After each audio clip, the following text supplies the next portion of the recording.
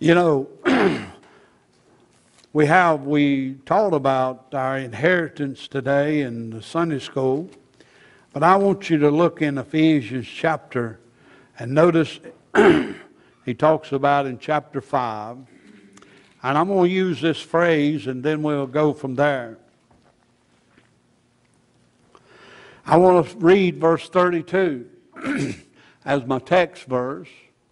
And he's talking about the relationship that we have with Christ is like a relationship of uh, a husband and wife. Now, he's not saying that the body of Christ is the is the bride of Christ, like you hear religion today, and uh, you're not the bride of Christ. You are the body of Christ. And before we get started, let me show you who the bride is right quick. Or turn over to Revelation and look in Revelation chapter, I think it's 21. Revelation chapter 21.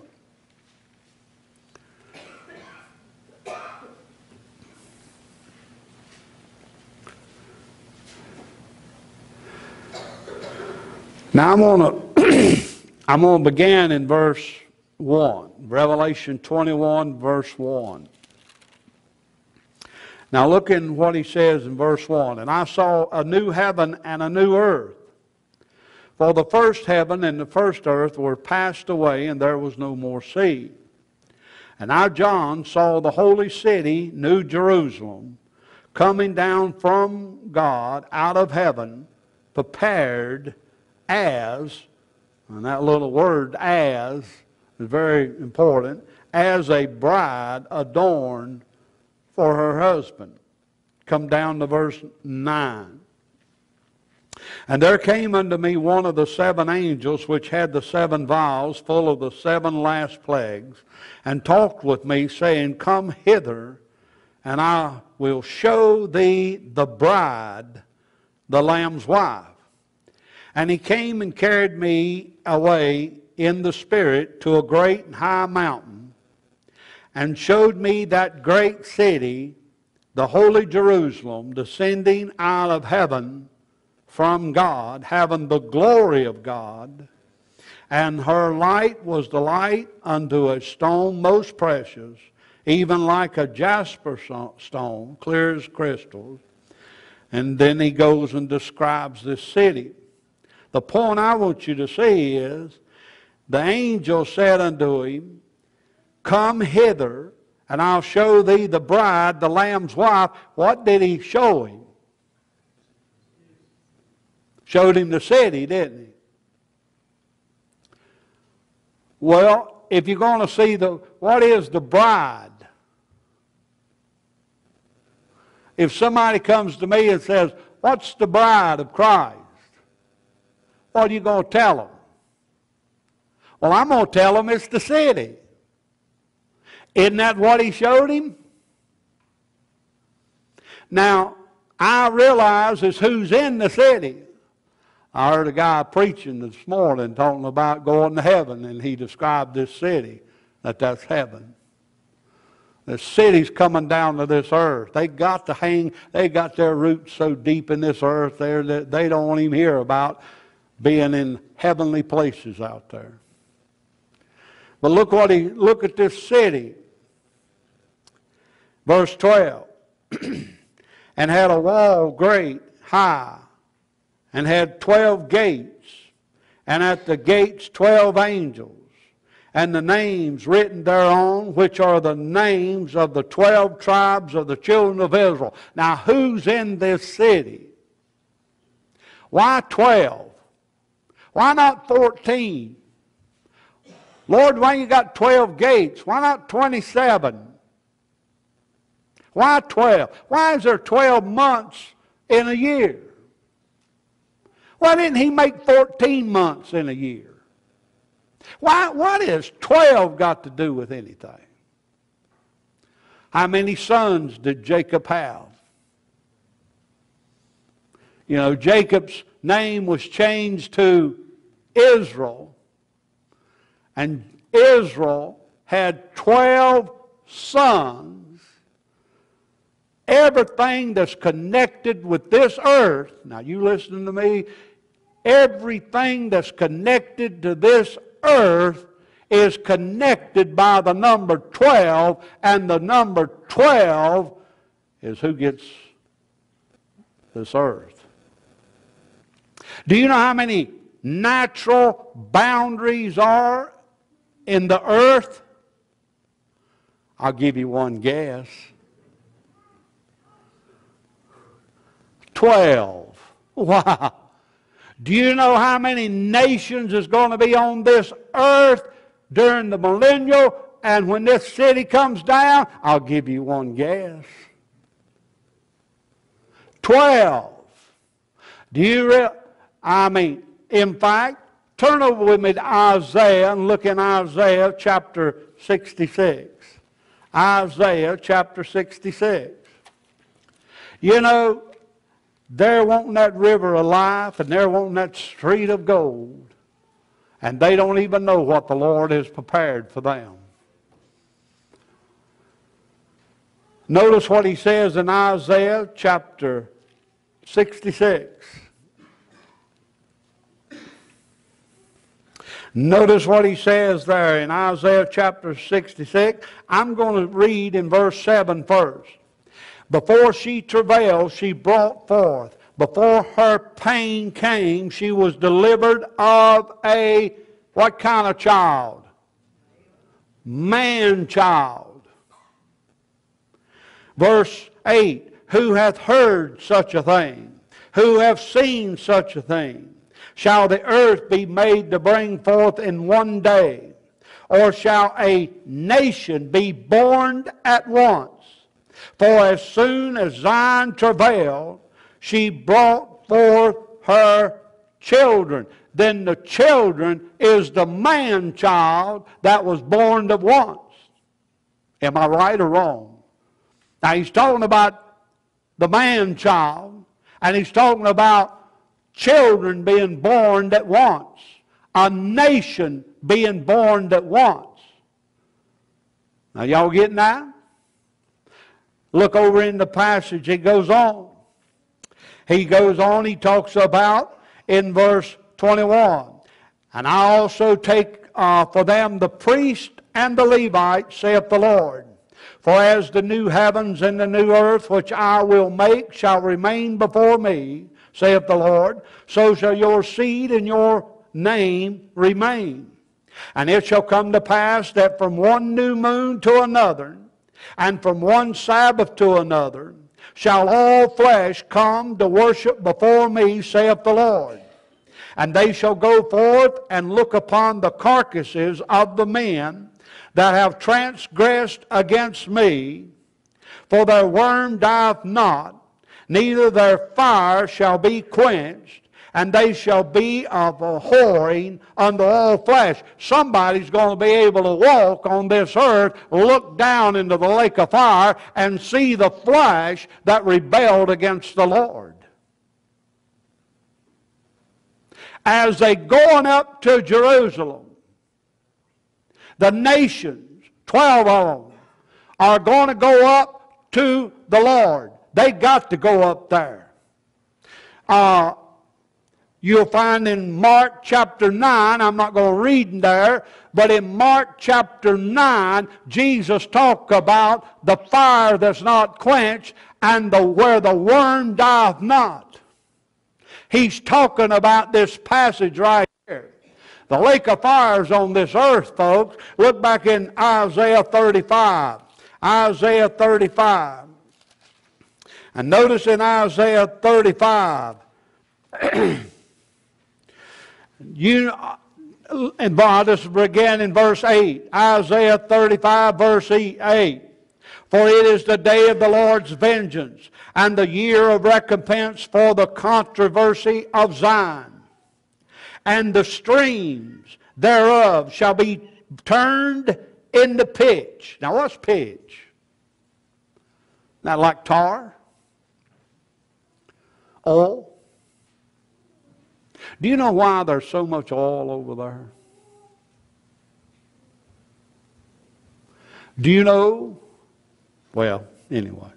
And the streams thereof shall be turned into pitch, and the dust thereof into brimstone. Isn't that something? Fire and brimstone.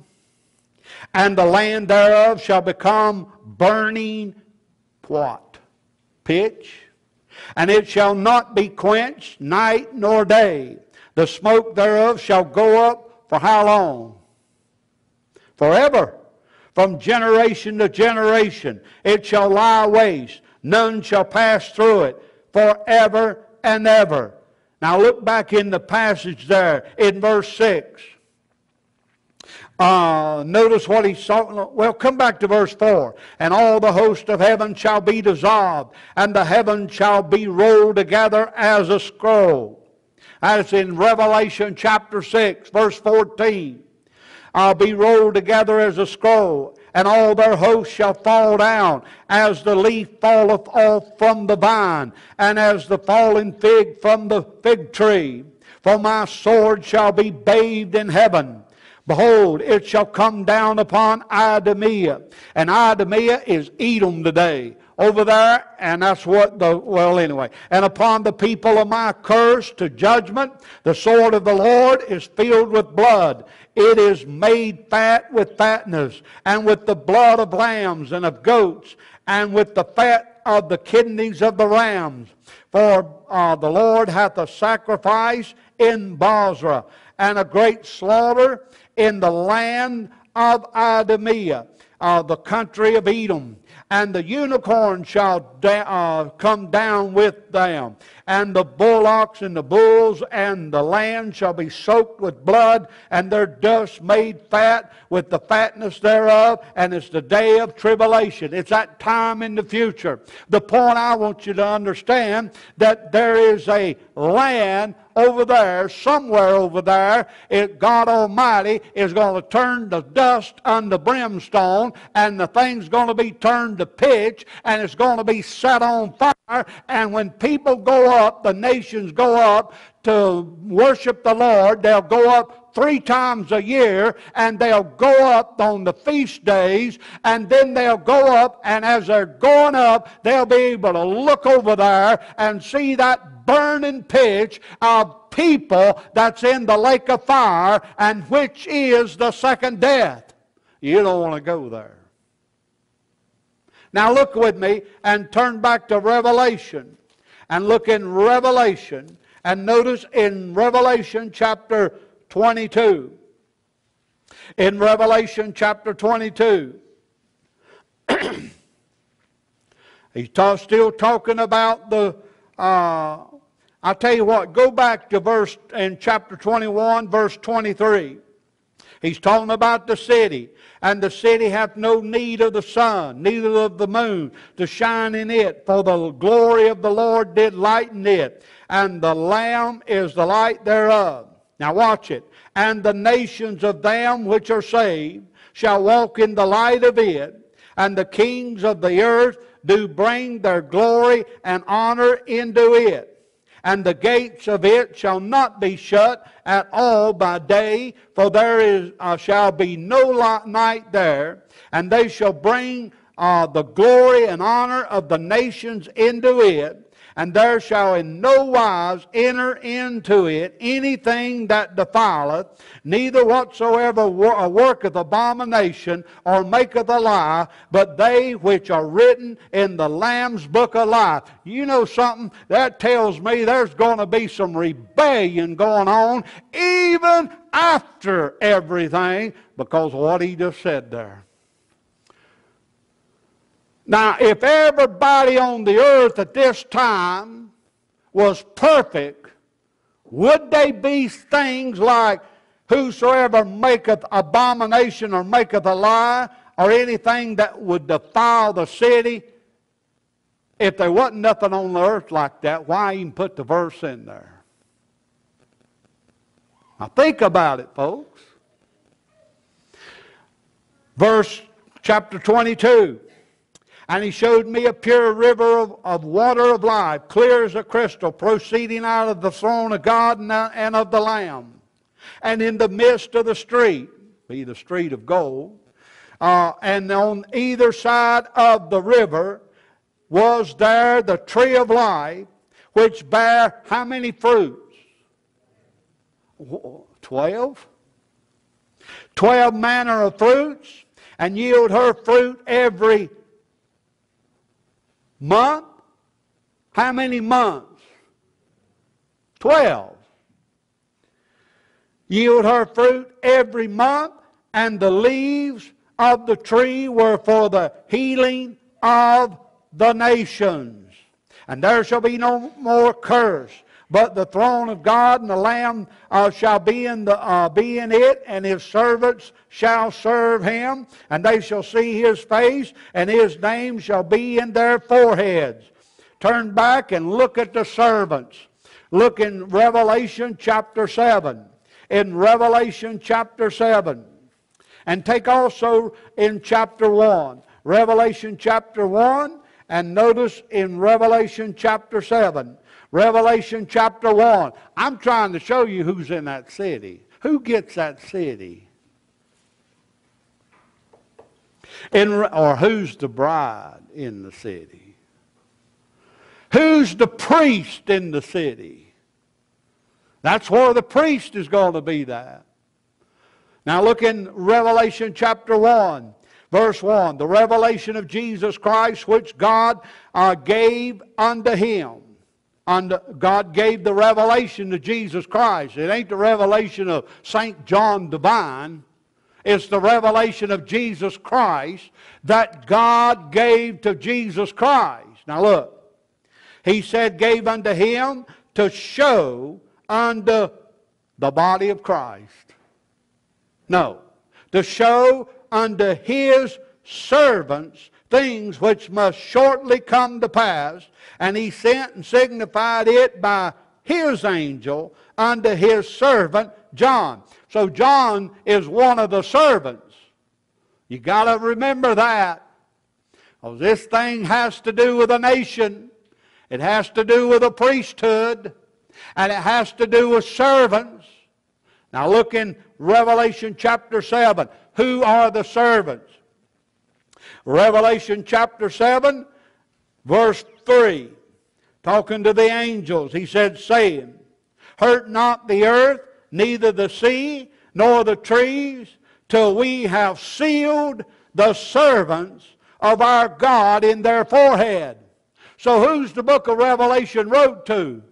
It's wrote to show unto his servants. Who's the servants? Those that get sealed, are the seal of God in their forehead. Well, who are they? Well, look in verse 4. And I heard the number of them which were sealed, the servants. And there were sealed a hundred and forty and four thousand of all the body of Christ. No, the tribes of the children of Israel. Don't you get it? They're part of that chosen generation back there that Peter said to the people in the day of Pentecost, save yourselves from this untoward generation. He was forming a new generation, a new nation of Israel, and it has to do, they're the servants, and bless your heart, you can take it to the bank, they're the bride of Christ. And it has nothing to do with you being in the body of Christ. I was teaching along this line one time, and this lady said, never forget, she said, shook her head. She said, You took the water out of my baptistry, and now you're taking the gold out of my city. I said, No, the water's still in the baptistry and the gold's still in the city. It's just not yours. I'm taking you out of the city. Folks, the city is where the priesthood's going to be, and the priesthood is the nation that Isaiah talked about being born once. Are y'all still with me? Man, time flies, don't it? Look with me and turn to Revelation chapter 14. Revelation chapter 14. and look in verse uh, 1, Revelation 14 1. And I looked, and lo, a lamb stood on Mount Sion. Now you see that S I O N? In the Old Testament, it's, Hebrew is Z I O N, Zion. Here, Sion, the Greek spelling. And with him, a hundred and forty and four thousand, having his father's name written in their foreheads. I want you to look at something now. Turn back to Revelation and look in, uh, in chapter 3. In chapter 3, I believe it is. And notice these people.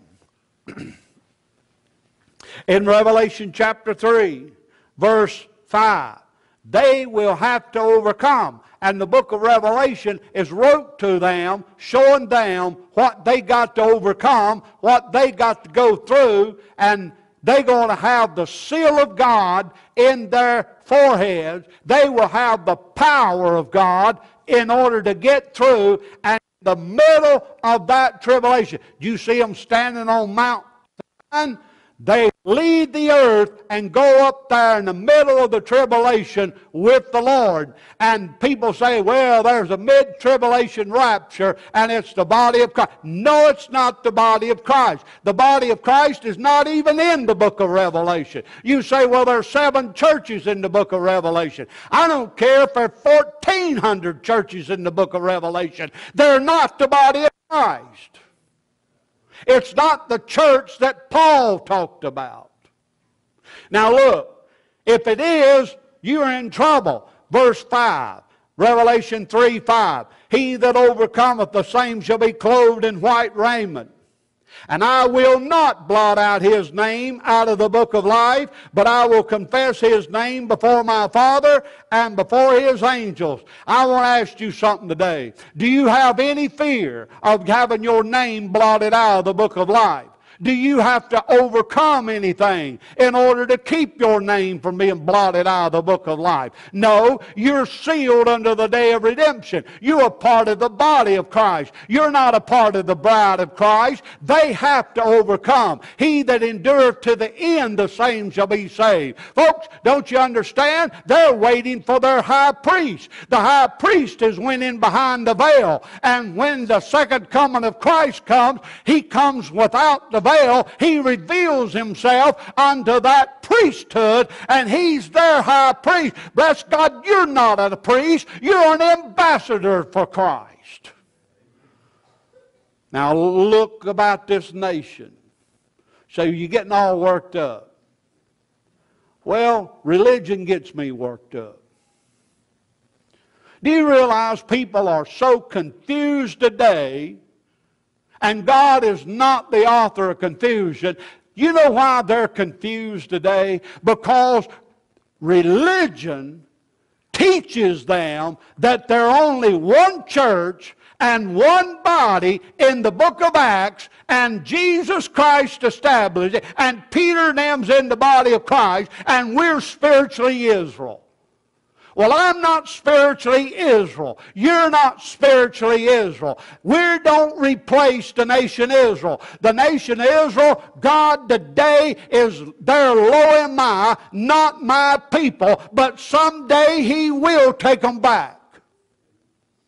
And God today's not dealing with one nation for salvation. He's dealing with all nations for salvation. God will have all men to be saved and come unto the knowledge of the truth. He gave himself a ransom for all to be testified in due time. God will save anybody, anywhere, anytime if they'll trust what Christ did for them on the cross.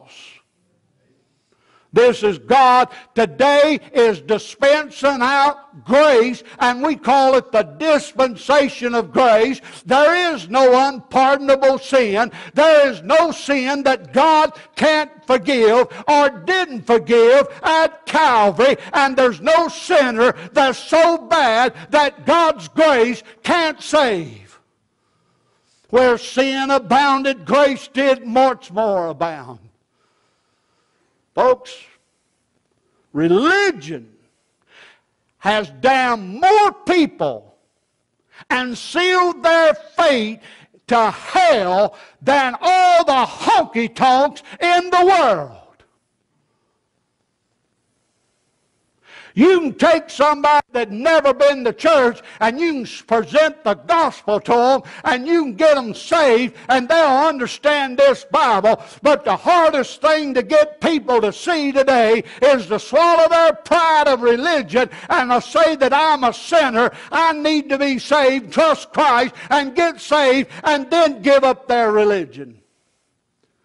The night I got saved, I junked mine. They never done nothing for me anyway.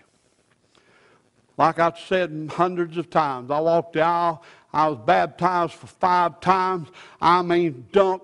I've been, I've been in the running water, still water. I've been in cold water. I've been in lukewarm water. I've been in the Baptist. I've been in the creeks. I've been in the ponds. But now, one time that I ever go into that water as a male, you know what I come out as?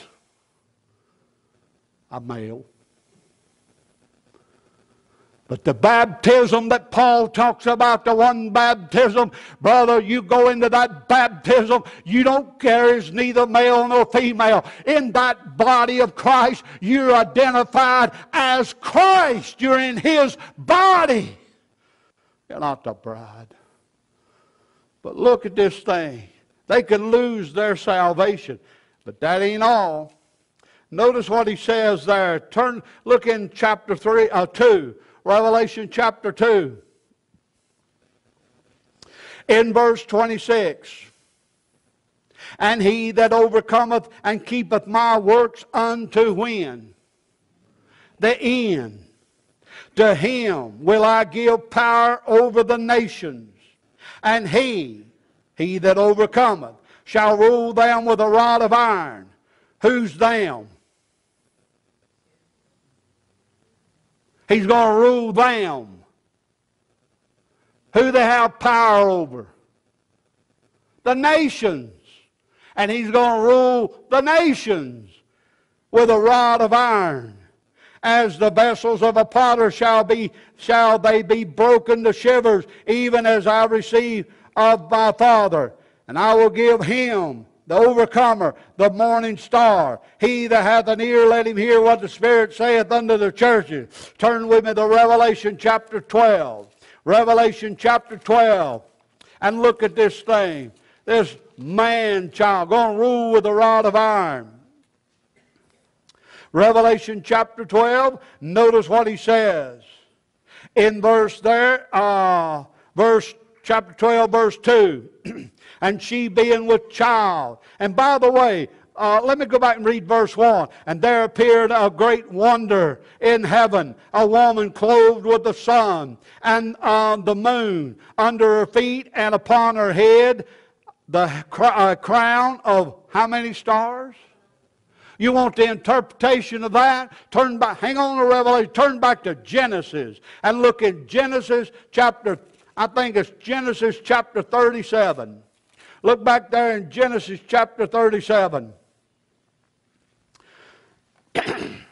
and notice this thing about Genesis chapter 37, and notice what he says in verse uh,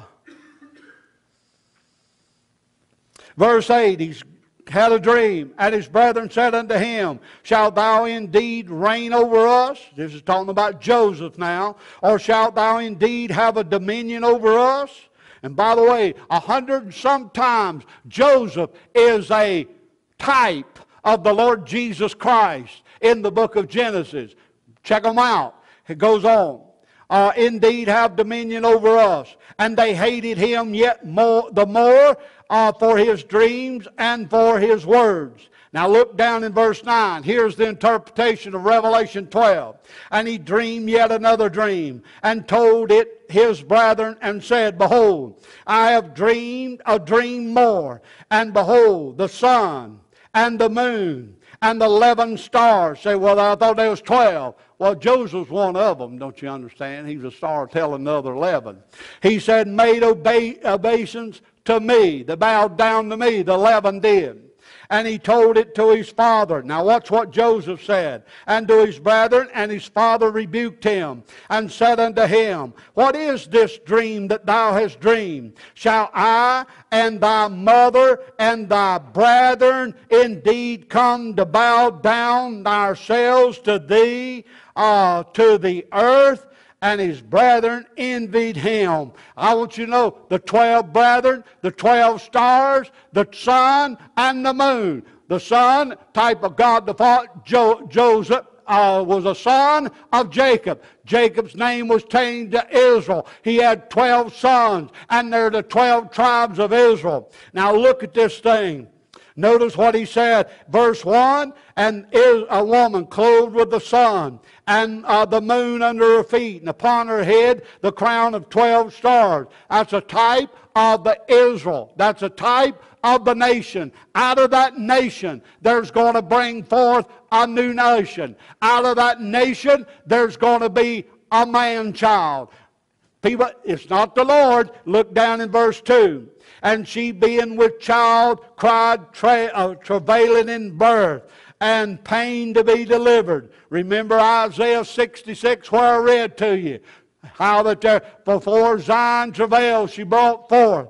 Verse 3 There appeared another wonder in heaven, and behold, a great red dragon, having seven heads, ten horns, seven crowns upon his head. No doubt who that feller is. That's, that's Satan himself and his tail drew a third part of the stars of heaven, and did cast them to the earth. And the dragon stood before the woman, which was ready to be delivered, for to devour her man child as soon as it was born. Now watch verse 5. And she brought forth a man child who was to rule all nations.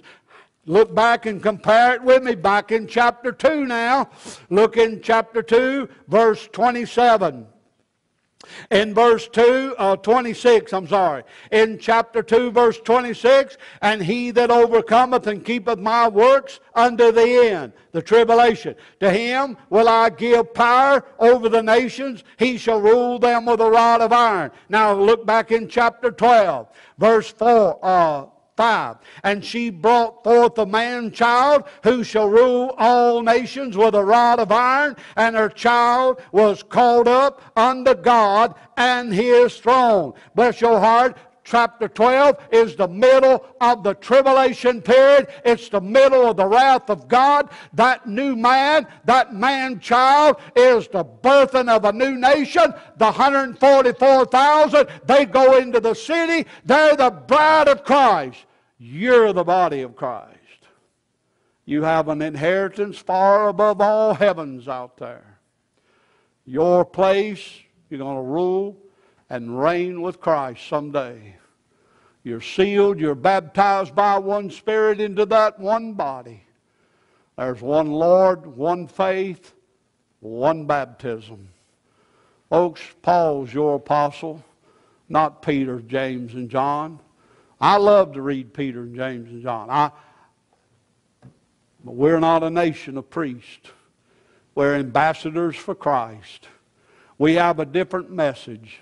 We have the gospel of Christ to offer this world. What is that gospel? What is that good news? Christ died for your sins and was buried, and God raised him for your justification. Everything that would separate you from God, Christ paid for. Isn't that wonderful? There's no barrier now between you and God. You're here, you're lost, you've never trusted Christ as your Savior. Right now, you're trying to think of a time that you, as a sinner, as a sinner, you, you trusted what He did. You trusted that He died for you personally. Salvation is something that's personal and you're trying to think about it. You're trying to wonder about it. Have I ever done it? Well, I want to ask you to do it now. I want you to do it now if you haven't. Believe me, He died for you. He went to that cross and He took your sins and He became what you are. And He bore your own nature that produces all the sins of the world.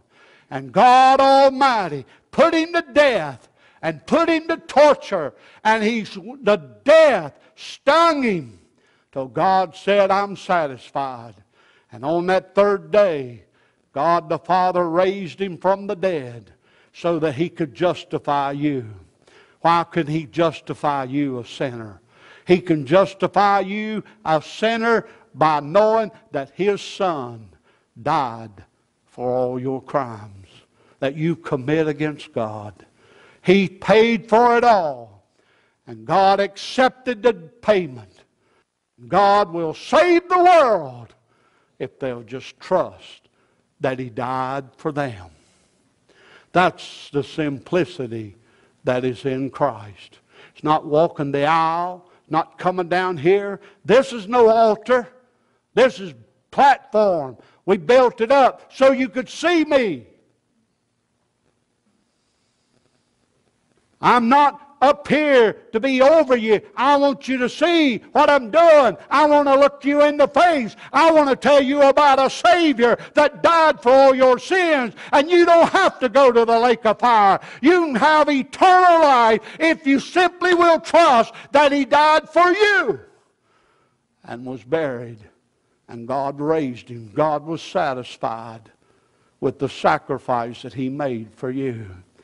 Everything has been done that needed to be done for you to have eternal life. Believe it, accept it. Paul said in Romans 5 receive the atonement, receive it as for you. The night I got saved, there was no generality to it. The night I got saved, I didn't care whether the world I didn't care whether he died for the world.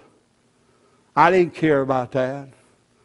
The night I got saved, I believed it for myself. The night I got saved, I remember it as well as anything. Lord, I know you died for me. I know you went to that cross for me. And when I acknowledged that, that's when the Lord saved me. For me. For me.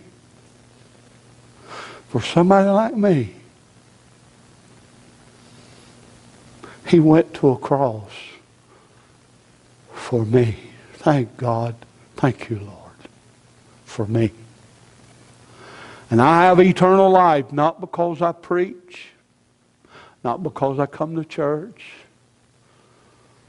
I have eternal life because He paid for me for all of my sins that would ban me from God. He wiped the slate clean. And now I stand before the Lord in Christ as pure and clean. Said, well, you don't live it. Don't matter how I live. It ain't about me. It's about Him. Thank you for being here. Would you stand? If you haven't trusted Christ, will you trust Him? Father,